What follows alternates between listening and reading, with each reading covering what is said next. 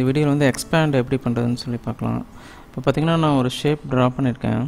Okay oval shape ஒன்று draw பண்ணுறேன் right so just draw பண்ணிட்டு இப்போ இதோட அவுட்லைனர் கலர் வந்து நான் ஆட் பண்ணுறேன் ஓகே கொடுத்துட்டு ஸோ அந்த ஸ்ட்ரோக்கோட வேல்யூ வந்து இன்க்ரீஸ் பண்ணியிருக்கேன் ரைட் ஸோ இப்போ வந்து நான் இது வந்து நான் ஷேப் சேஞ்ச் பண்ணணும்னு வச்சுக்கோங்களேன்.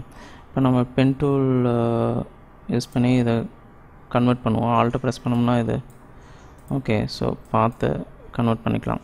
பட் நான் இப்போ என்ன பண்ணுறேன் இது பார்த்திங்கன்னா ஒரு ஸ்ட்ரோக்காக இருக்குது தெரியுதுங்களா? இதை வந்து நான் வந்து ஸ்ட்ரோக்லேருந்து ஆப்ஜெக்டாக மா அதாவது இதோட அவுட்லைனரில் ஒன்று க்ரியேட் பண்ணுறோம் ஸோ அதுக்கு என்ன பண்ணுறோம் இங்கே போனீங்கன்னா ஆப்ஜெக்டில் போயிட்டு எக்ஸ்பேண்ட் ஒரு ஆப்ஷன் இருக்குது இதை கொடுத்தோம்னா எக்ஸ்பேண்ட் பண்ண சொல்லி கேட்குது ஸோ ஃபில் பண்ணுமா?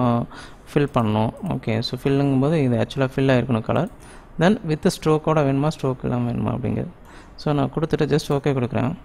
இப்போ பார்த்தீங்கன்னா அது கன்வெர்ட் ஆகிட்டுருக்கு ஓகே கன்வெர்ட் ஆகிடுச்சு இப்போ பார்த்தீங்கன்னா இது சென்டரில் ஒரு ஸ்ட்ரோக் இருக்குது பட் வெளியே ஒரு ஆக்சுவலாக வந்து அந்த அவுட்லைனர் வந்து க்ரியேட் ஆகிருக்கு ஸோ இதை நான் என்ன பண்ணலாம் அப்படின்னா இப்போ நான் வந்து பென் டூல் யூஸ் பண்ணி ஸோ இதை நான் சேஞ்ச் பண்ணேன்னா ஸோ ஆல்ட்டு ப்ரெஸ் பண்ணோம் அப்படின்னா நம்மளுக்கு கன்வெர்ட்டர் கிடைக்கும்.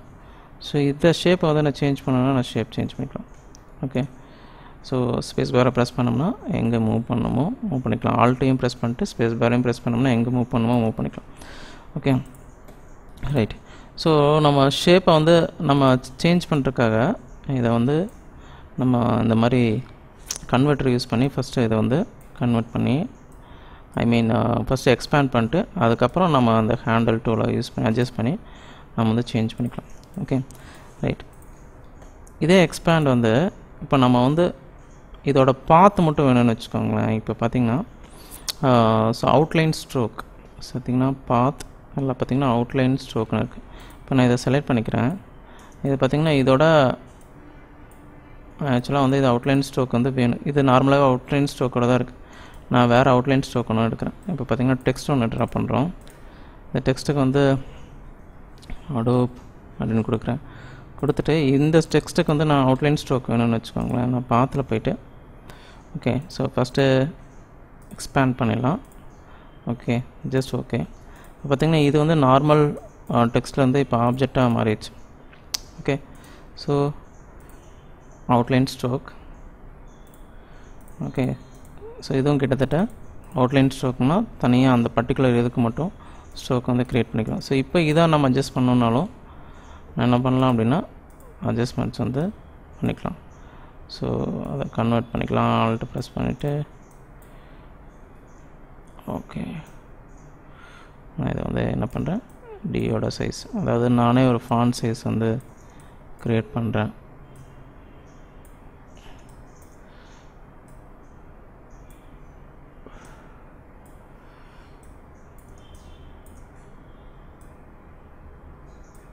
ஸோ இந்த ஹேண்டில் வந்து ஜஸ்ட் இப்படி மூவ் பண்ணிக்கிட்டு ஓகே.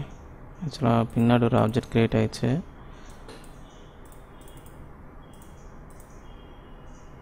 அதை செலக்ட் பண்ணிட்டு டெலிட் பண்ணிடலாம் இப்போ பார்த்திங்கன்னா நம்ம அதை சேஞ்ச் பண்ணிக்கலாம்.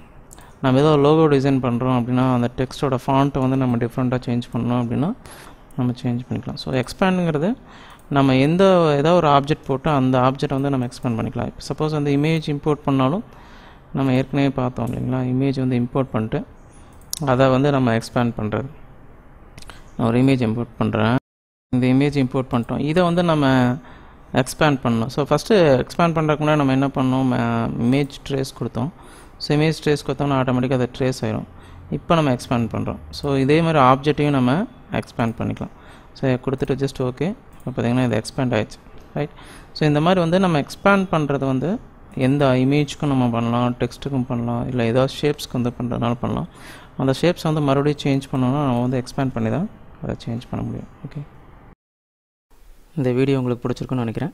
இதோட கண்டினியூஷன் வந்து நெக்ஸ்ட் வீடியோ வந்து நம்ம பார்ப்போம். இந்த வீடியோ உங்களுக்கு பிடிச்சிருந்துன்னா கீழே இருக்கிற சப்ஸ்கிரைப் பட்டனை வந்து ப்ரெஸ் பண்ணுங்கள் அது பக்கத்தில் இருக்கிற பெல் சிம்பிளையும் ப்ரெஸ் பண்ணுங்கள் நாங்கள் நிறைய வீடியோ வந்து அப்லோட் பண்ண போகிறோம் அதோட நோட்டிஃபிகேஷன் உங்களுக்கு ஆட்டோமேட்டிக்காக வரும்.